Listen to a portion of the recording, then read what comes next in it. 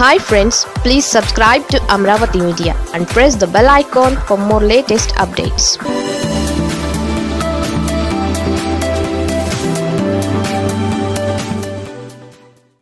Tirupati ఉప ఎన్నికలో పోటీ చేయకుండానే టీడీపీకి ఝలక్. పార్టీ కీలక నేత జంపింగ్కు రెడీ. తిరుపతిలో YCP sitting MP Balli Durgaprasad ఆకస్మిక మరణంతో ఖాళీ అయిన లోక్సభ స్థానానికి జనవరి తరువాత ఎప్పుడైనా ఉప ఎన్నిక నిర్వహించే అవకాశం ఉంది. దీంతో ప్రధాన పార్టీలు అభ్యర్థులపై దృష్టి సారిస్తున్నాయి. అయితే ఏ ప్రధాన పార్టీకి కూడా ఇక్కడ బలమైన అభ్యర్థి లేకపోవడం ఎస్సీ రిజర్వ్డ్ సీట్ కావడంతో ఇక్కడ సమీకరణాలు ఆసక్తికరంగా మారుతున్నాయి. గత ఎన్నికల్లో ఇక్కడ టీడీపీ నుంచి పోటీ చేసి వైసీపీ అభ్యర్థి బల్లి దుర్గాప్రసాద్ చేతిలో ఓడిన మాజీ కేంద్ర మంత్రి పనబాక లక్ష్మిపైన ఇప్పుడు అందరి చూపు నెలకొంది. ఆమెను పార్టీలోకి తీసుకొచ్చి టికెట్ ఇచ్చేందుకు బీజేపీ నేతలు ప్రయత్నిస్తున్నట్లు తెలుస్తోంది. అదే జరిగితే టీడీపీ తరఫున మాజీ ఎంపీ శివప్రసాద్ కుటుంబ సభ్యులకు టికెట్ ఇచ్చేందుకు చంద్రబాబు ప్రయత్నించే అవకాశం ఉంది. వైసీపీ ఎంపీ బల్లి దుర్గాప్రసాద్ కరోనాతో మృతి చెందిన నేపథ్యంలో తిరుపతిలో ఆరు నెలలలోగా ఉప ఎన్నిక నిర్వహించాల్సి ఉంది.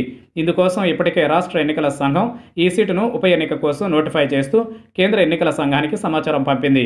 మరోవైపు ఈ ఉప ఎన్నికను ప్రస్తుతం ఏపీలో నెలకొన్న పరిస్థితుల నేపథ్యంలో అన్ని రాజకీయ పార్టీలు ప్రతిష్టాత్మకంగా తీసుకుంటున్నాయి. దాదాపు అన్ని ప్రధాన పార్టీలు కూడా తిరుపతి ఉప ఎన్నికలపై తెర వెనుక రాజకీయాలు మొదలుపెట్టేశాయి. దీంతో ఆయా పార్టీల తరఫున అభ్యర్థులుగా రంగంలోకి దిగేందుకు పోటీ కూడా పెరుగుతోంది. గత ఎన్నికల్లో టీడీపీ తరఫున పోటీ చేసి వైసీపీ అభ్యర్థి బల్లి దుర్గాప్రసాద్ చేతిలో ఓటమి పాలైన మాజీ కేంద్ర మంత్రి పనబాక లక్ష్మి అప్పటి నుంచి సైలెంట్గా ఉన్నారు. టీడీపీ అధినేత చంద్రబాబు ఏర్పాటు చేసిన సమీక్షా సమావేశాలకు సైతం ఆమె హాజరు కాలేదు. దీంతో ఈ ఉప ఎన్నికల్లో ఆమె అడుగులు ఎటువైపు అన్నది ఆసక్తికరంగా మారింది. స్థానికంగా అందుతున్న సమాచారాన్ని బట్టి ఆమె టీడీపీకి గుడ్ బై చెప్పి బీజేపీ తరఫున ఉప ఎన్నికల్లో పోటీ చేసే అవకాశం ఉన్నట్లు తెలుస్తోంది. దీనిపై ఇంకా తుది నిర్ణయానికి రాకపోయినా ఆ దిశగానే పనబాక అడుగులు ఉన్నట్లు సమాచారం. గతంలో తనతో పాటు కేంద్ర మంత్రిగా పనిచేసిన పురంధేశ్వరి ఇప్పుడు బీజేపీలో క్రియాశీలకంగా ఉన్నారు. తాజాగా నడ్డా టీంలోనూ ఆమెకు చోటు దక్కింది.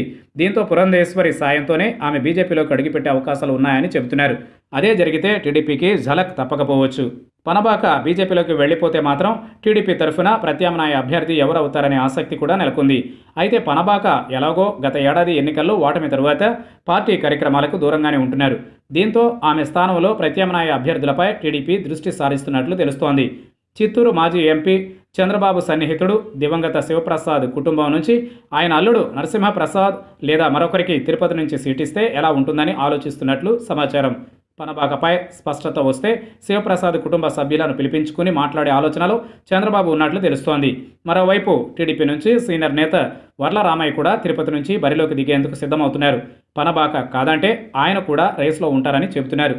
గతంలో సిట్టింగ్ ప్రజాప్రతినిధులు చనిపోతే వారి కుటుంబ సభ్యులను ఉప ఎన్నికల్లో నిలబెట్టి అన్ని పార్టీలు మద్దతు ఇవ్వాలనే సిద్ధాంతాన్ని తెరపైకి తెచ్చిన వైసీపీ ఆ తర్వాత భూమా నాగిరెడ్డి స్థానంలో ఆయన కుటుంబానికి చెందిన బ్రహ్మానందరెడ్డి నంద్యాల ఉప ఎన్నికల్లో నిలబెడితే పోటీ అభ్యర్థిని నిలబెట్టింది. ఇప్పుడు ఈ అదే సూత్రాన్ని విపక్షాలు కూడా తెరపైకి తీసుకొచ్చి పోటీకి దిగితే ఏం చేయాలనే దానిపై వైసీపీలో మదనం కొనసాగుతోంది.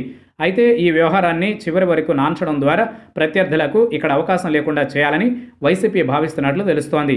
చివరి నిమిషంలో దివంగత బల్లి దుర్గాప్రసాద్ కుటుంబ సభ్యులను కానీ మరొకరిని కానీ బరిలోకి దింపడం ద్వారా సిట్టింగ్ స్థానం విపక్షాలకు పోకుండా చూసుకోవాలనేది వైసీపీ వ్యూహంగా కనిపిస్తోంది. అందుకే ఇప్పుడు వైసీపీ నేతలు తిరుపతి ఉప ఎన్నికపై బహిరంగంగా మాట్లాడేందుకు ఇష్టపడడం లేదు.